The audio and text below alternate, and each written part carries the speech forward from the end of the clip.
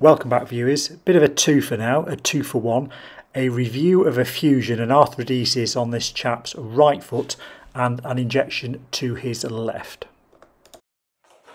Righty, let's get going. Mm -hmm. So I'm just going to just quickly just do an introduction, sir. So this one is three months after surgery? Correct. Yeah. Okay, so this was a right first metatarsophalangeal joint arthrodesis. It's actually a medial incision on this one. I normally do a dorsal, but we went for medial this time. We've done two screws on that. Two screws. Two screws on that. And there was a pin. Temporarily, yeah, there's a temp yeah. pin that came out. What's the purpose of that?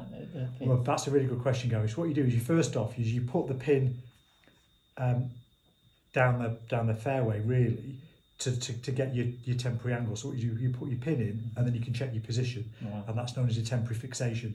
And then you put the screws around the pin. Sometimes I'll leave the pin in as I did with mm. you, but that first pin is to get temporary fixation because if you're trying to put a screw in right. and it's moving around, of course, you, yeah, you want something almost like somebody holding it in the way. That's exactly what it is. So it allows you then to kind of X-ray, just mm. check. So we did that under X-ray, so we, we knew where we were. You had some questions for me, Gary. Yeah, I suppose really it's just the other foot really in, in respect of that sort of thing, and um, where where we sort of go with this uh, view of the X-ray and um, exactly the same. So yeah. we've we've been looking at this foot for what two years now, three yeah, years now. Yeah.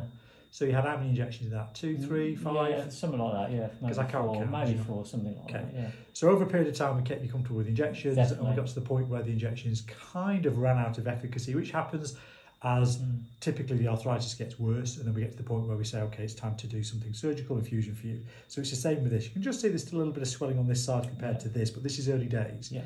So we're looking at Gary's other foot now. This one has got some early hallux limitus. It's long first ray, Gary, or long first metatarsal. So your problem with the same on the other foot is your metatarsal is a bit longer than it should be. So I'm just going to mark you up. That's yeah, on. Go on. yeah, the interesting comment you made just then about the the metatarsal and the length of it, because I'm interested into sort of the cause. And you I like a bit of engineering, don't yeah, you? Yeah, I, I, think that uh, there can be many causes, can't there? I suppose. But uh, the the interesting thing, and I never really looked at my toes, is that I would say my my toe is quite long, but I don't know. So although the jury's out in terms of what the scientists say, we have kind of scientific guys who look at this and trying to work out. Oh, look at that! This colour will come off in a couple of weeks, mm-hmm. don't worry um, who look at the, the science and say a long first ray or particularly a long first metatarsal, is not an issue. I I really think it is. And when I say people think it's not an issue, they've looked at patients that have had surgery, had a problem, they've looked at x-rays and go, yeah, there's, there's a few that have a long face first ray, but not everybody. I actually think I see a majority of my patients who've got either a long, so the first ray, Gary, is metatarsal and toe. So that's mm-hmm. the, it's the whole of the segment. So you could actually have a normal metatarsal and a big long big toe, or you could have a long metatarsal and a normal big toe. Mm-hmm. You've got kind of both really. You've got long metatarsal and a big toe. And the theory is if it's a little bit longer, it gets a bit more pressure. Yeah. With every step you take. Mm. Who was that? Queen, 1979. Not Queen. Not Queen. The other ones. please. Ah, yeah, yeah. Police. Sorry. That's all right. Getting old. And I just think every every step you take, mm you put a bit more pressure on. So we're going to do a little Kenalog shot for, for Gary. It's a bit of Kenalog, triamcinolone, my particular favourite for a joint. So we're just going to put a little bit of a smidge in. Mm -hmm. So Gary, you've got a driver today, haven't you? Not driving yourself back. That's right. We don't let patients drive after a cortisone mm -hmm. shot, so we're just going to put this in. So typically use about 30 mg of Kenalog triamcinolone. It's a fluorinated insoluble compound. So I've marked up, so the technique is distract, plantar flex, dorsal medial I tend to go now, all oh, look straight in, nice for the camera.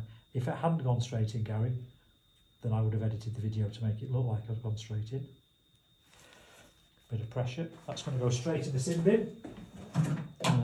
Good night, Vienna. Now, rule of thumb is take it easy for the rest of the day. It can be a bit stingy. Yeah. Did you have any issues with the other injections for the right foot? Uh, only uh, it did flare sort of. Uh, the last one or two flared. It, did it didn't. The early ones didn't. Sort okay. of the, the, last couple flared a little bit, which sort of made me grit my teeth. Yeah, we think if you take it easy for the rest of the day, that the, the, the chances of flare are less. And I, right. you know, I've never really seen the proof of that. But my thinking is, the less you do, the less you squish it out the area, the more it stays where I want it to do to work on the inside of the joint just to settle that inflammation.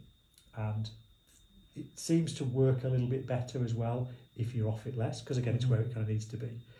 The flare is said to be microcrystalline suspension of steroid. Now, I've never really got how an anti-inflammatory can cause inflammation, but there you go. I'm a simple guy. Mhm. Right, boy.